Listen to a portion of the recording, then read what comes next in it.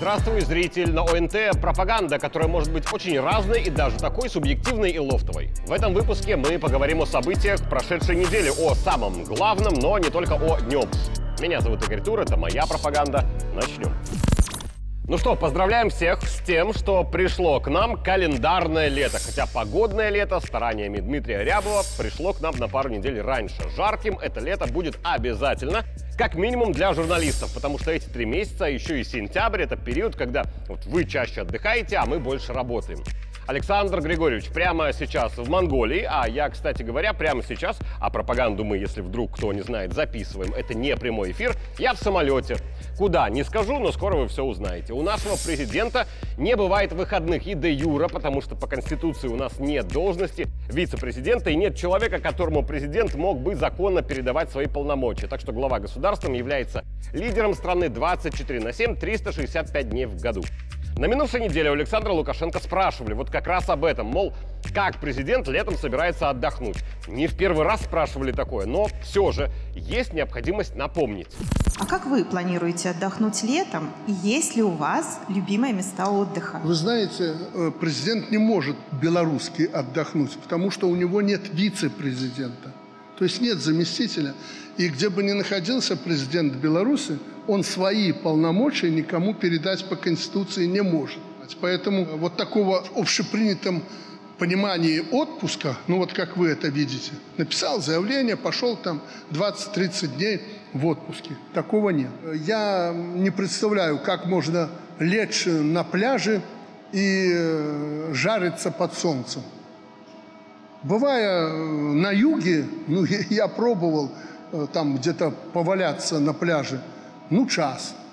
Э, это не мое. Мне надо чем-то заниматься, там, э, начиная с утра спорт, если его, ты где-то нашел день свободный. Хотя таких дней, еще раз говорю, свободных не может быть по закону у президента. Любимые места Орша. Я люблю делиться с аудиторией профессиональными инсайдами, потому что они, на мой взгляд, позволят аудитории чуть лучше понять, как у нас все в стране работает. Президентский пул каждую пятницу получает график работы главы государства на следующую неделю, чтобы, исходя из этого графика, ну, понятное дело, спланировать собственную работу, кто куда едет, летит, бежит или лежа наступает. Понятно, что президентство — это профессия самая сложная в мире. График этот никогда не бывает статичным. Что-то отменяется, что-то добавляется, что-то третье переставляется местами. Но все же так вот, в этом графике никогда не бывает пометки «выходной», то есть по прошлой неделе график выглядел так. Понедельник – встреча с губернатором российского региона, вторник – участие в медиафоруме в Могилеве, среда – Орша, посещение предприятия оборонного сектора, суббота – убытие в Монголию, естественно, воскресенье – это госвизит в Монголию. Естественно, у вас возникает вопрос по четвергу и по пятнице. Так вот, в графике, который мы получаем, никогда не написано выходной, потому что если у главы государства в какой-то день нет публичных мероприятий, которые мы покажем по телевизору, это совершенно не значит, что он не на работе и не работает. Такие дни в графике отмечены пометкой «Работа с документами», потому что это важнейшая часть работы президента. Участвуя в медиафоруме, изучая промышленность, сельским хозяйством, объективно невозможно сесть и изучить эти тонны проектов указов, которые предлагаются на подпись главе государства. И если Лукашенко не проводит утром, днем или вечером публичных встреч, визитов и переговоров, значит он или во Дворце независимости, или у себя, как говорит президент, в деревне, но в рабочем кабинете он изучает эти документы, что-то подписывает, а что-то отправляет на доработку. Рядом в это время находится такая штука, как телефон правительственной связи посредством которого ежедневно десятками штук главе государства совершаются доклады министров и прочих чиновников. Одни докладывают ежедневно, другие еженедельно, третьи по запросу. Знающие люди говорят, что телефону вот в такие дни работы с документами приходится очень нелегко от объемов в телефон говорения. Вместе с этим Александр Григорьевич, как говорят уже другие знающие люди, в такие дни, запланированные под работу с документами, он практически всегда генерирует изучение вопросов не по бумажке, а лично. То есть Когда физически глава государства у себя на родине работает с документами и читает, например, доклад о выполнении поручения создать здесь экспериментальное хозяйство, которое займется селекцией разных культур, чтобы затем технологии эти распространить по всей стране, то в бумаге условно Минсельхозпрода чаще всего, конечно, написано, что все хорошо, хотя бывает и отмечается, что хорошо, но с оговорками. Прочитав вот этот документ, президент открывает другой, где о выполнении ровно того же поручения пишет уже некое иное ведомство, а не исполняющее. Чаще всего это комитет госконтроля. Президент читает два отчета того, кто выполняет, и того, кто контролирует ход выполнения. А дополняет картину Александр Григорьевич личной инспекцией. Служба безопасности президента вместе со службой протокола – это люди, которые тоже работают 24 на 7, потому что очень часто случается команда «выезжаем посмотреть лично прямо сейчас».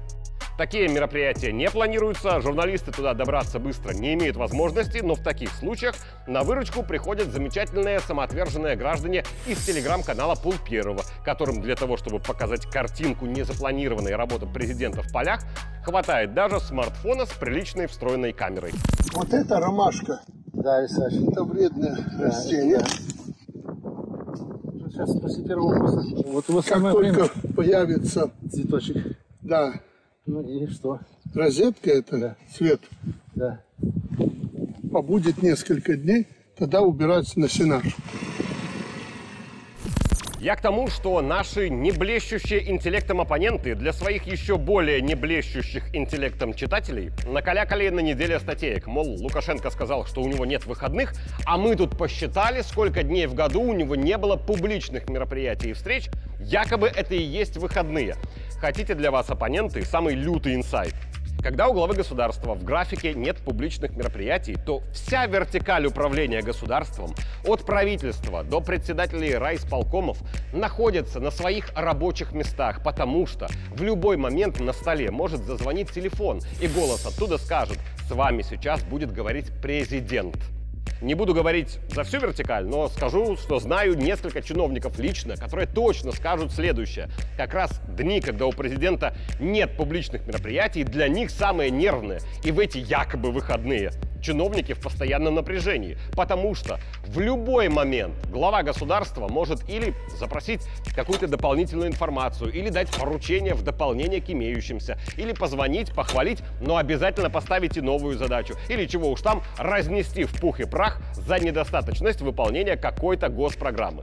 Все публичные мероприятия вместе взятые таким образом это лишь верхушка айсберга президентской работы.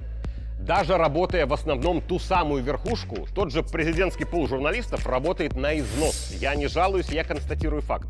Еще о нашей работе на примере, допустим, посещения главой государства предприятия «Легмаш» в Орше.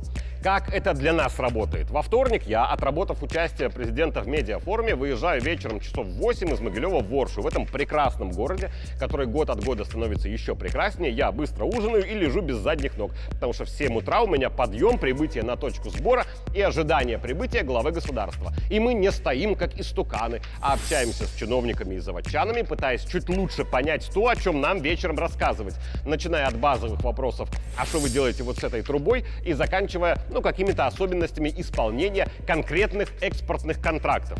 Когда президент приезжает, мы все уходим на несколько часов в режим максимальной концентрации, потому что после двух часов инспектирования нужно быстро определиться с основными векторами репортажа, а для этого нужно очень сильно постараться и понять даже в нюансах, чего требует от этого предприятия и всей отрасли глава государства. Когда Александр Григорьевич уезжает, напомню, не отдыхать, а работать с документами и корректировать работу чиновников по телефону, у нас наступает самая жара, потому что нужно написать текст, нужно начитать его, записать дополнительное интервью со всеми участниками инспектирования, а потом монтаж репортажа в 6 рук, и даже в 6 рук это занимает очень много часов.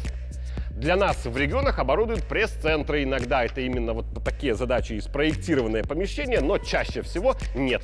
Пресс-центры были у нас в ЗАГСе, в доильном комплексе или вот в Орше, в игровом зале местного спорткомплекса. И я хочу Орше передать большое спасибо за прием, потому что местные постарались и кроме обедов для не имеющих лишних минут журналистов организовали и целый холодильник со вкусным местным мороженым, что в жару было вот прям очень в тему. Искренне, Орша, спасибо за заботу и принятие верных, правильных решений без какой-либо указки сверху и когда направлены эти решения на людей, а не на красивые отчеты. Закончили монтаж мы в среду относительно рано, часов в 6 вечера, так что к 21.00 я уже был дома, хотя обычно это ближе к полуночи, а на завтра утром снова на работу.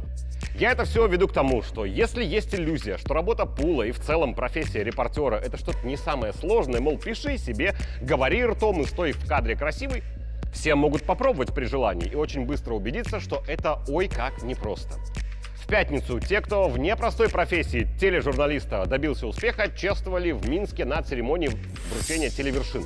А все в белорусском телевизоре, они хотят получить эту статуэтку, а получив, хотят тут же вторую. Я был на церемонии, которая обычно проводится раз в два года, в четвертый раз. В 2015-м я отработал на ОНТ где-то полгода, сильно завидовал номинантам, которые были в тот вечер легкими и воздушными, в идеально отглаженных костюмах и шикарных платьях, а я в это же время приехал делать репортаж о тех, кого признали лучшими в делании репортажа. Психологически это, конечно, такое себе удовольствие. А дополнено оно было еще и многокилограммовым аппаратом за плечами для передачи картинки в телеэфир. Спустя два года, в которые я пахал как проклятый, я уже стоял на сцене телевершины и категорически гордился своими репортажами из Сирии, за которые во многом награду и получил как лучший репортер. Уже как политобозреватель сегодня я хочу подметить один интересный нюанс. В 2016 в одном из моих репортажей из объятой гражданской войной Сирии прозвучала формулировка типа «Формально это противостояние войск правительства Асада и вооруженной оппозиции, но по факту это противостояние России и США на территории Сирии, где также интересы есть у соседней Турции». Семь лет назад эта фраза чуть ли не вызвала дипломатический скандал и чуть ли не привела к условному четвертованию ее автора, то есть меня. Причем со всех сторон.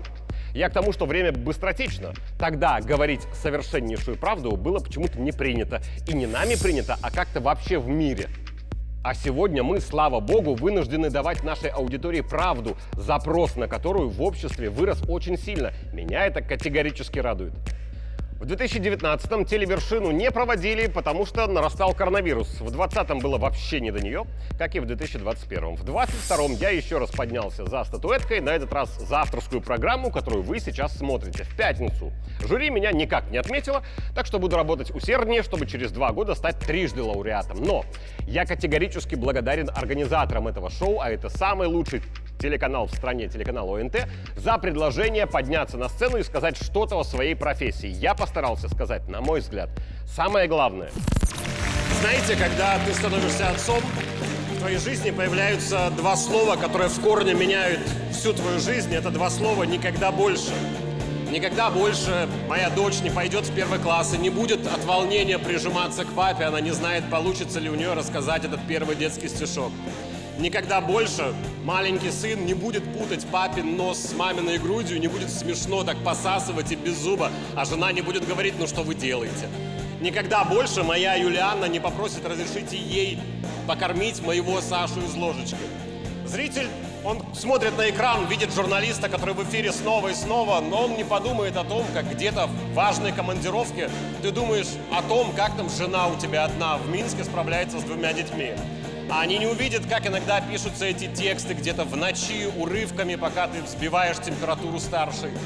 И они никогда не увидят глаза самого лучшего мальчика на свете, который бежит к двери, он не умеет разговаривать, но он показывает, что папа, пожалуйста, не уходи опять на работу. А мы все люди, конечно. Нам очень приятно, когда зритель благодарен нам за нашу работу. Потому что цена успеха в нашей профессии очень часто пропускать то, чего в жизни не будет никогда больше. Я сейчас не жалуюсь, я хвастаюсь. У меня любимая жена, любимые дети, любимая профессия, а любимых не отдают.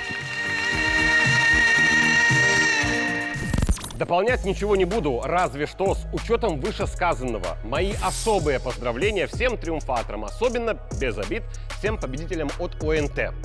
Но еще хочу отметить один важный момент церемонии, который дает ответ на вопрос. Вот мы, журналисты белорусских госсми, все же конкуренты скорее или скорее партнеры?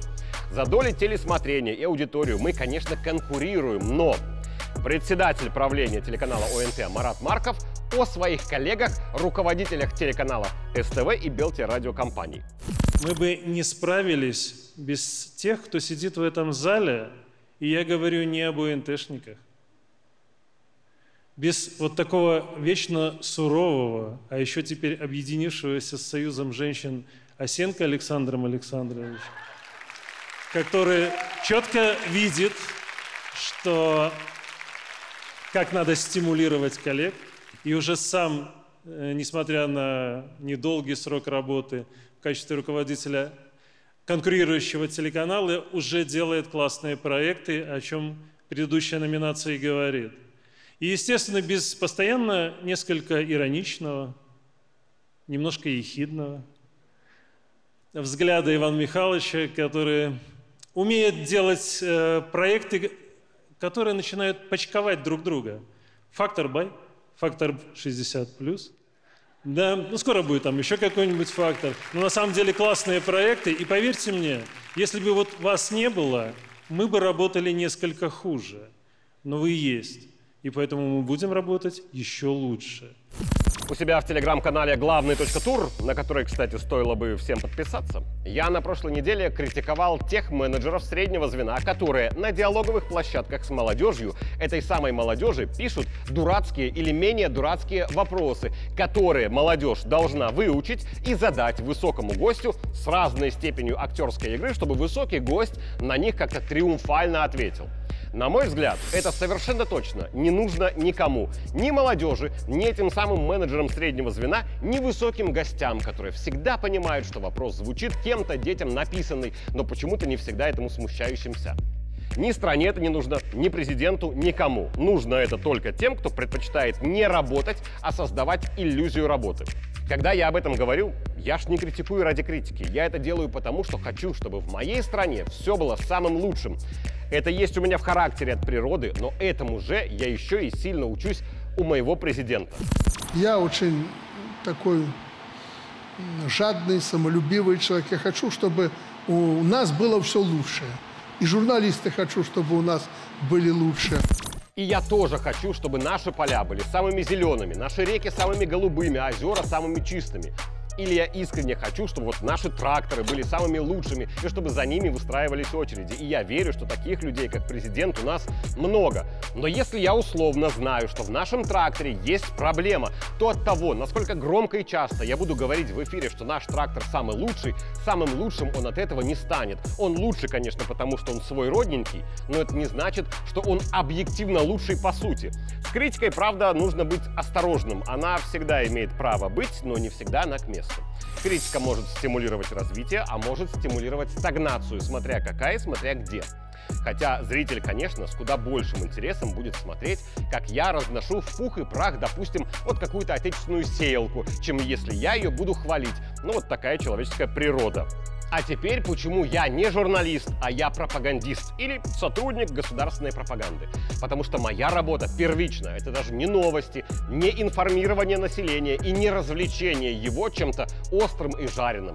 Моя работа – транслировать государственную позицию страны и, естественно, ее лидера внутри государства и на внешний контур, защищая таким образом в медиа интересы государства и интересы его граждан. И быть пропагандистом – это лучшая работа в мире, потому что она делает жизни людей лучше. Даже если не все это понимают, не все согласны и не все оценят. На прошлой неделе президент участвовал в медиафоруме, где говорил о том, какой должна быть эта самая государственная пропаганда. Если коротко, она должна быть умной. Ну что вы все время трепете эту Украину? Вы же не забывайте о том, что когда-то нам придется с ними налаживать отношения. Это соседская наша страна. Это родная нам страна. И я убежден, что те, кто говорит жестко об Украине, э, не понимают, что подавляющее большинство в Украине нормальные люди. Но там информационно-психологические операции, СМИ и прочее забиты сегодня, ну, не только национально ориентированными людьми, но просто нацистами. А когда мы их начинаем бомбить, молотить, плохо воспринимают обычные люди. Это я вам не только свое мнение высказываю. Мы мониторим ситуацию в Украине, и мы видим, и как, как они говорят, Ну, ну, ну зачем нас батька так? Батька. Поэтому будьте очень аккуратны, продумывайте все. Выйти на экран и лепить там все подряд, извините мне за это слово, э, понося все и вся вокруг, э, считая, что ты уже во всем разобрался, опасная тенденция. Подумайте над этим. И это ведь не только про журналистику. Задача государства и тех, кто принимает решения в государстве, это не сделать хуже врагу, не ярко поставить его на место и не замочить его публичным острым словом. Это все всего лишь инструмент. А задача сделать лучше своему государству и своим людям. Это то, чем успешно занимается Александр Григорьевич Лукашенко три десятка лет. В медиа в том числе. И в медиа бывают разные времена. Бывает, когда Зеленский гнида, а бывает и когда Владимир Александрович. А на формулировки никак не влияют интересы Зеленского, Украины или украинцев. И я даже скажу, что лишь во вторую очередь влияют интересы Путина, России и россиян. Приоритетны государственные интересы суверенной Беларуси и ее граждан. Меня зовут Игорь Тур, это была моя пропаганда. Увидимся в следующий понедельник.